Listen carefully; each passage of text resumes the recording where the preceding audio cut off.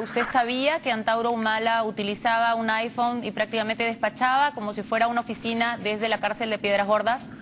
En absoluto, y puedo hablar también por el Consejo Nacional Penitenciario, que ninguno de nosotros sabíamos lo que estaba sucediendo con ese interno respecto al iPhone, y lo primero que siento es indignación frente a lo que ustedes han presentado. Frente a esto, eh, hay que aplicar la ley, hay que aplicar la norma, y seamos muy claros, ¿no es cierto? Es decir, como bien se ha dicho y el mismo presidente ha dicho, no hay diferenciación ni a familiares, ni a amigos, y la ley es igual para todos. Así que lo primero que en el INPE se hace cuando hay, eh, cuando se encuentra una falta grave en un interno, es una medida preventiva que es de aislamiento. Es lo que vamos a tomar en primer lugar mientras que se hace una investigación, una comisión de investigación que está a cargo del Consejo Técnico Penitenciario que tiene que realizarse para que investigue realmente, y eso sí les pediría la ayuda de ustedes, en primer lugar agradecerles por toda esta información, para ver esos correos, por supuesto ver la veracidad de esos correos, y prefiero hablar en condicional. Si es que estos correos, lógicamente, no son sembrados, son veraces, son ciertos, como aparentemente son, como lo ha mostrado muy bien en el reportaje, que no quepa duda que se van a tomar eh, todas las medidas pertinentes y las sanciones que sean necesarias y no descartamos inclusive el traslado a otro penal con la condición, lógicamente, que se guarde el motivo por lo cual nosotros trasladamos de Piedras Gordas al penal eh, Virgen de la Merced, que es la seguridad del interno. Sobre ese tema hicimos un comentario y quisiéramos escuchar su respuesta. La primera vez que hablamos con usted eh, teníamos muy poco tiempo, pero realmente, y después de todo el tiempo que ha pasado y que ha tenido usted para reflexionar sobre el tema, la verdad, la explicación de la seguridad de los familiares podría haberse solucionado poniendo medidas de seguridad a favor de los familiares y en todo caso, si a Antauro Mala le corresponde una cárcel común por ser un reo común, existían otras alternativas dentro del país que no daban la impresión de un lugar privilegiado. ¿Qué piensa de esto? Eh, yo creo que, eh, bueno, tengo conocimiento, mejor dicho, que no solamente somos los únicos que hemos tomado medidas, sé que se ha reforzado la seguridad de los padres del presidente, pero nosotros hemos tomado las decisiones que debíamos de tomar. Si a mí nosotros nos llega una información y una nota de inteligencia que en primer, habla, en primer lugar habla de los riesgos de la familia del presidente, okay, nosotros lógicamente tenemos que tomar acciones. Ahora, yo te pediría que se pongan en mi lugar. Si a mí me llega una nota de inteligencia y yo no hago nada y sucede algo posterior a esta, a esta nota que yo he recibido, lógicamente es mi responsabilidad. Ahora bien, eh, entendemos, entendemos su posición en ese sentido. Por supuesto, cualquier ser humano normal le llega esta nota, tiene una responsabilidad tan grande, dice tengo que hacer algo. Lo que pasa es que la gente se pregunta por qué tuvo que hacer eso precisamente, porque hay otras acciones que se pueden tomar, hay otros lugares donde se le pudo enviar y lo que la gente sospecha es que ha habido presiones para que a él se le envíe a este lugar, que es un lugar más cómodo, que es un lugar donde va a tener un mayor relajo, digamos, en la vigilancia, mayor aún si cabe, porque la verdad con todo lo que está haciendo uno se pregunta qué tan vigilado estaba, ¿no? quiero decir claramente, Sol, que no he recibido presión de nadie y menos aún, como he escuchado en algunos medios, presión del presidente de la República. Jamás me ha pedido absolutamente nada para su hermano y menos aún privilegio.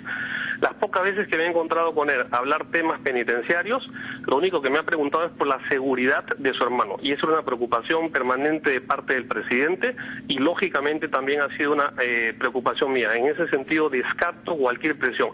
La única razón que los motivó para mover a ese interno a otro penal que nos pareció en este momento más seguro fue el tema de seguridad personal.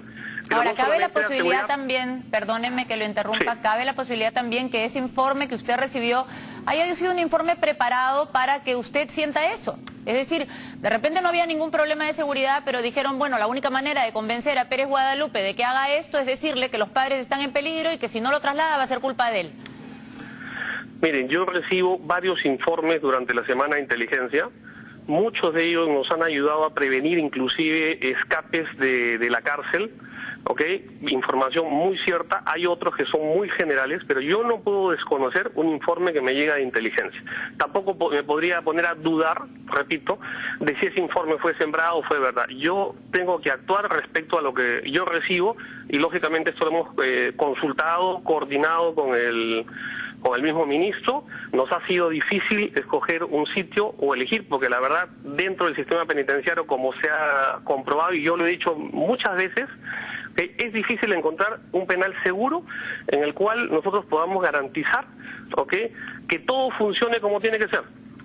Por eso, es que en por eso que en este momento se va a tomar la decisión, tal como se hace como cualquier interno, frente a que al, conocimiento de una falta grave, como es el caso, la medida de aislamiento, el cual implica que no tiene visitas, solamente su visita de abogados y familiares íntimos, como medida cautelar, mientras que se realizan las investigaciones, que ahí se verá qué otra sanción se puede poner, y repito, no niego la posibilidad de que inclusive pueda ser trasladado a otro penal, pero que cumpla las garantías para guardar la integridad del interno humano.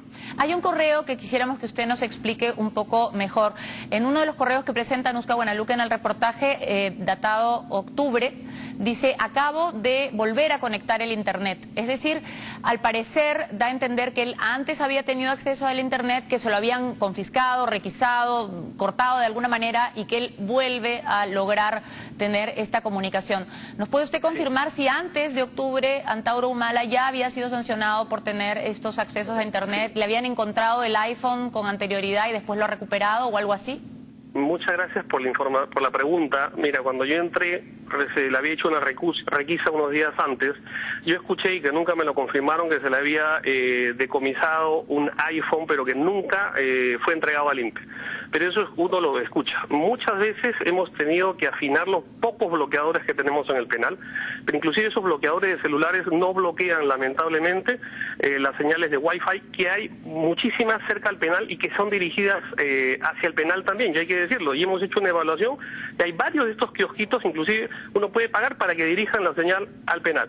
No, pero el iPhone tiene su propio internet además. ¿Perdón? El iPhone tiene su propio internet, si paga el 3G tiene su propio internet, no, necesita colgarse del Wi-Fi. Bueno, justamente una de las medidas que hemos trabajado y que está ahora, si, si no tengo mala información, ya en preinversión, un sistema para poder bloquear no solamente los celulares, sino todas las eh, señales de Internet, cualquier medio de comunicación en los penales. Eso ya está en preinversión y esa era justamente una de nuestras apuestas para guardar la seguridad de todos los penales, porque la seguridad de los penales es la seguridad también del país, ¿no? Para concluir esta entrevista, yo lo que quisiera es que me quede claro la actitud que usted va a tomar. Lo que entiendo es que va a tomar una actitud no de paso al costado ni retroceder, sino más bien acciones concretas de sanción para determinar cómo así ha tenido estos privilegios Santauro Humala y castigar a quien sea necesario castigar. Exactamente, y a mí me interesa mucho la fecha de esos mails, también indicar que en los pocos meses que, tengo en la gestión hemos cambiado hasta en tres oportunidades al director de Piedras Gordas justamente por fallos en la seguridad. En el mes de diciembre hicimos una requisa nosotros mismos y sacamos 75 celulares. Es decir, nosotros somos muy conscientes de las deficiencias, pero yo creo que hay cosas que ya pasan de castaño oscuro y que hay que tomar las medidas necesarias mi puesto está desde el primer día siempre a disposición del ministro y del presidente, pero en este caso, mientras yo siga al frente del INPE, voy a cumplir las normas y eso que no le quepa duda a nadie.